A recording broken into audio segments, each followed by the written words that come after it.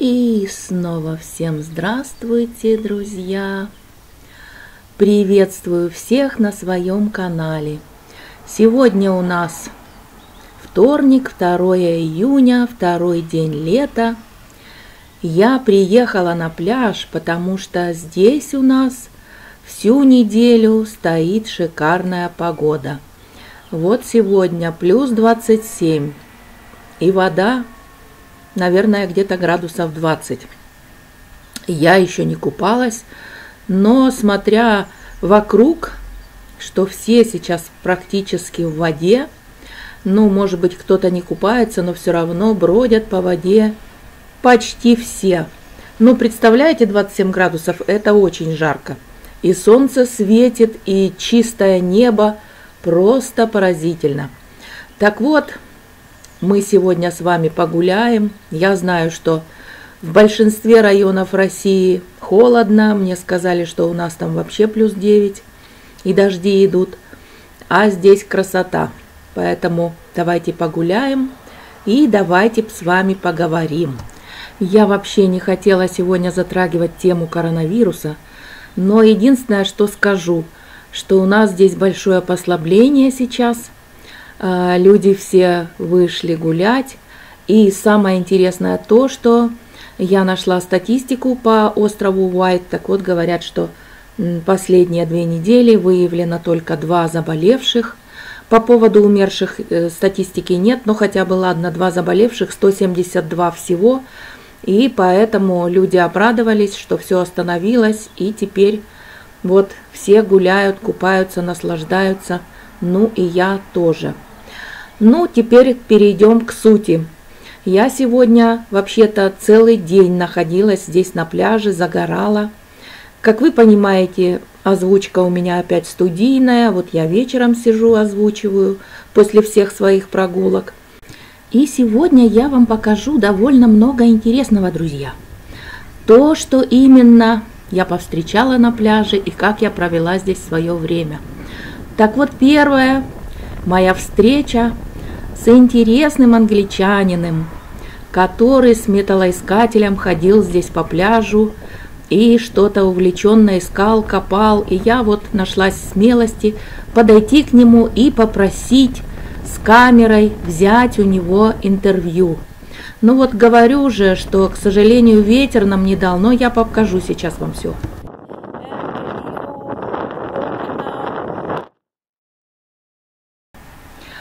Ну вот вы поняли, я выключила этот звук.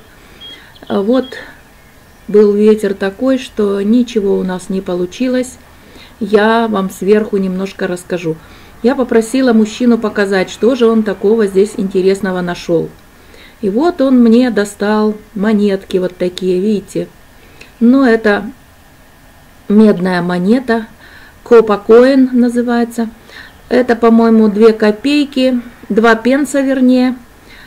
Ну и это не представляет особой такой ценности, потому что эта монетка совсем недавняя, просто плохо сохранилась. Вот. Но он разохотился, стал мне показывать еще. Вот еще другую монету показал. Я, как ни старалась, здесь вообще ничего я не смогла разглядеть. Ну, видно, что профиль также Елизаветы II – и видно, что монета не из старых. Ну вот он там, видите, на заднем плане роется в карманах. И мне достает все, что он за сегодняшний день нашел. Сейчас мы с вами посмотрим. Вообще, видите, мужчина такой колоритный. Очень. Прям такой какой-то викинг старинный. Вот он мне нашел серебряную. Я спросила, может, у вас есть серебряная монета? Он сказал, да, вот, по-моему, вот это серебряная. И вот я ее показываю вам. Это 1958 год монета. Ну, э, достаточно вроде бы как старая, 60-летней давности. Вот тут видите тоже Елизавета II, наша действующая королева на реверсе. Э, он сказал, что он находил даже и римские монеты. А это вот он мне достал все, что он за сегодняшний день нашел. У него же металлоискатель. И нашел всякой ерунды. очень много. Я говорю, почему вы ее берете? Он говорит, ну я просто все это выкину, когда буду с пляжа идти. Раз уж я это выкопал, нашел, да, вот показывает мне пулю. Когда я спросила, э, что за пуля, откуда, он сказал, ну, наверное, Вторая мировая война. Вот эта пуля такая интересная. Сейчас он мне еще там что-то ищет. Ага. Вот он мне нашел еще шрапнель, как он сказал. Кусок шрапнели. И говорит, что, возможно, даже кого-то убил вот этот вот кусочек шрапнели. Ну, я с этим мужчиной разговорилась, он оказался очень разговорчивым. Я, к сожалению, вот как-то, понимаете, все равно не привыкла и не могу, стоя рядом, совать человеку камеру прямо в лицо. Поэтому я что-то вот его лицо-то как-то вам мало и показываю. Но мужчина очень симпатичный. Он сказал, что он тоже здесь живет всю жизнь на Isle of Wight. И сам он из Ньюпорта. А вот сюда, на пляж Райда, он приезжает с другом постоянно. Ему здесь очень нравится. Я говорю, а находите что-то золотое? Он сказал, что да, находим иногда и золото, но крайне редко. Я говорю, ну вот какие-то старинные монеты, допустим, что-то такое находили. Он сказал, что у него самая ценная находка была, это вот он нашел римский коин, римскую маленькую монетку. А, вот, римляне, как вы знаете, были захватчиками Англии на протяжении 400 лет. В общем, вот такой римский коин он нашел, и он сказал, что он смог его продать довольно дорого. За полторы тысячи фунтов. Это на самом деле дорого, друзья. Вот, ну и стал мне искать еще одну монету очень долго-долго. Рылся тут в своих всех этих потайных кармашках. Но вот монетку, которую он хотел мне найти, он так, к сожалению, и не нашел. Интересно еще то, что когда я у него спросила, а, если он нумизмат, и если он находит римские монеты, то, может быть, он знает что-то такое о короле Артуре. Вы знаете, для меня это сейчас вот такая вот острая тема. Он сказал, что да, знаю, конечно, слышал, это римский легионер, который остался здесь помогать британцам а, вот после того, как все римляне ушли. Вот видите, как интересно. Ну, вот так вот мы с ним пообщались, и я вам такого колоритного мужчину, конечно же, хочу показать. Я пошла дальше по пляжу, по кромке воды, по галечной косе, и стала без конца то и дело находить вот такие вот маленькие панцири крабов. Вот видите, я сначала показала вам один, потом иду второй вижу, третий, четвертый, пятый. Вот видите, сколько их здесь много, вот этих вот панцирей от крабов. Краб этот называется колючий краб. Вот сейчас покажу э, именно, сколько много их здесь вдоль э, валяется на побережье. Вот видите, просто огромное количество. Если вы думаете, что это какие-то погибшие крабы, то нет. Просто сейчас у них линька. И вот крабы сбрасывают свои старые панцири, из которых они выросли, и преспокойно живут дальше. Я вам постаралась найти картиночку именно вот этого вот колючего краба, как он выглядит. Он похож немного на камчатского краба, насколько я понимаю.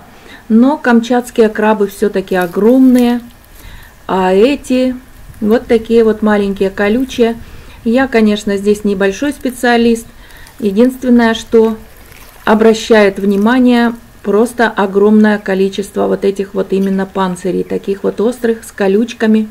Довольно-таки интересных, согласитесь. Вот я вам это все и показываю.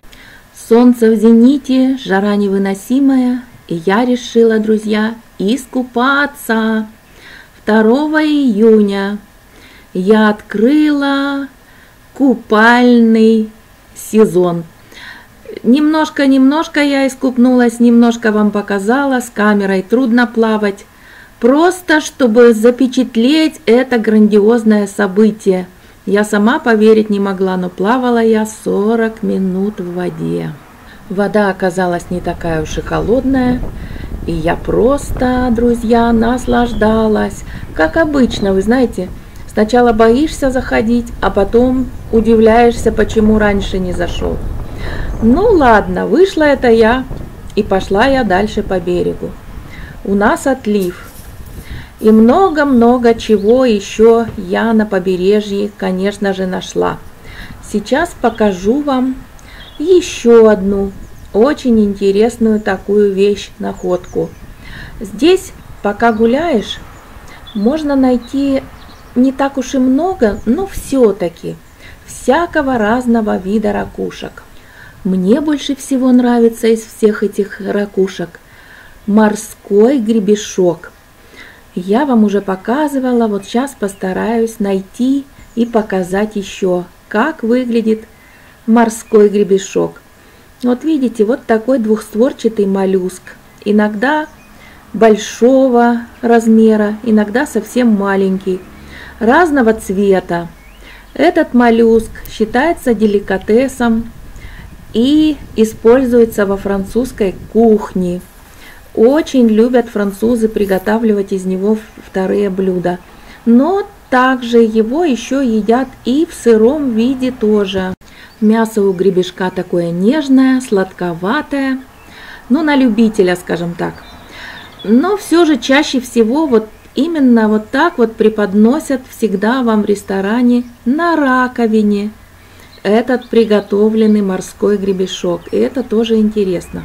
А еще интересно то, что вот гребешки, крупные гребешки, они могут в случае опасности довольно далеко прыгать. Вот они вот так резко смыкают свои створки и отпрыгивают буквально на несколько метров от того страшного места, если их испугать. Ох, посмотрите, какого я красавчика нашла! Вот хоть и маленький, но посмотрите, какой красивый, бесподобный гребешок. Вот недаром раковины гребешка используются в качестве символов очень часто. И вы знаете, что нефтяная компания Shell давным-давно использует раковину гребешка как свой символ. Ну а мы с вами идем дальше, друзья.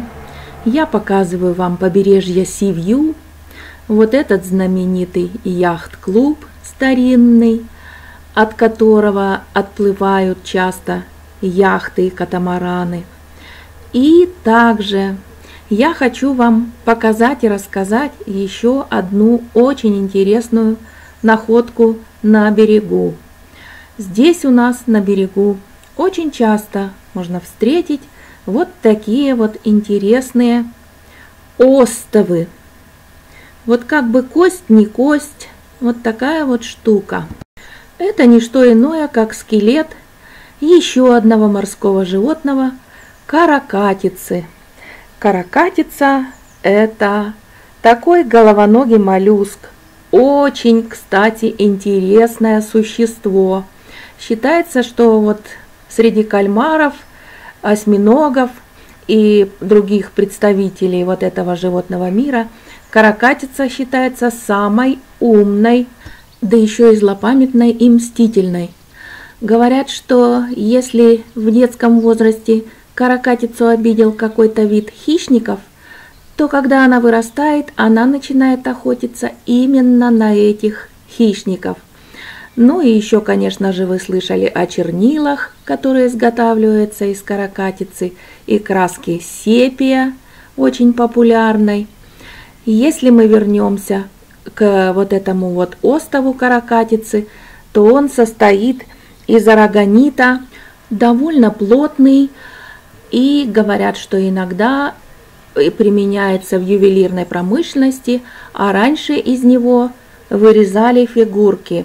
Ну и те, кто имеет домашних птиц, друзья, то, наверное, знаете, что вот такие вот пластинки вот этой вот Э, каракатицы помещают в клетку попугаям, и птицы чистят свои клювы вот об этот вот скелет.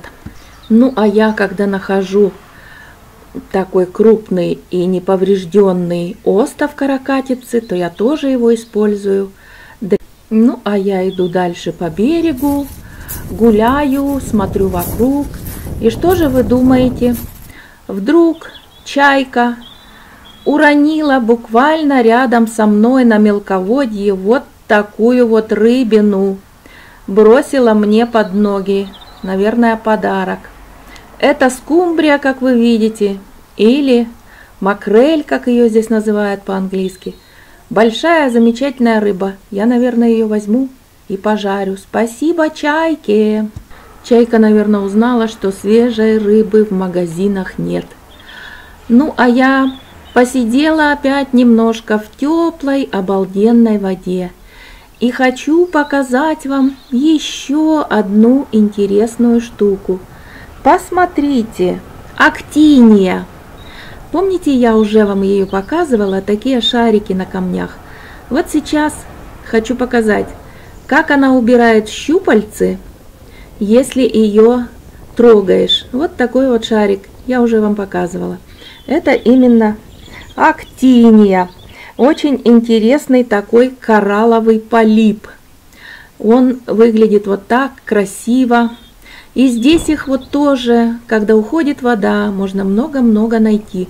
Вот я его когда трогаю пальцем, вы знаете, так интересно, он, несмотря на то, что маленький, он просто своими щупальцами присасывается, вы знаете, даже страшно.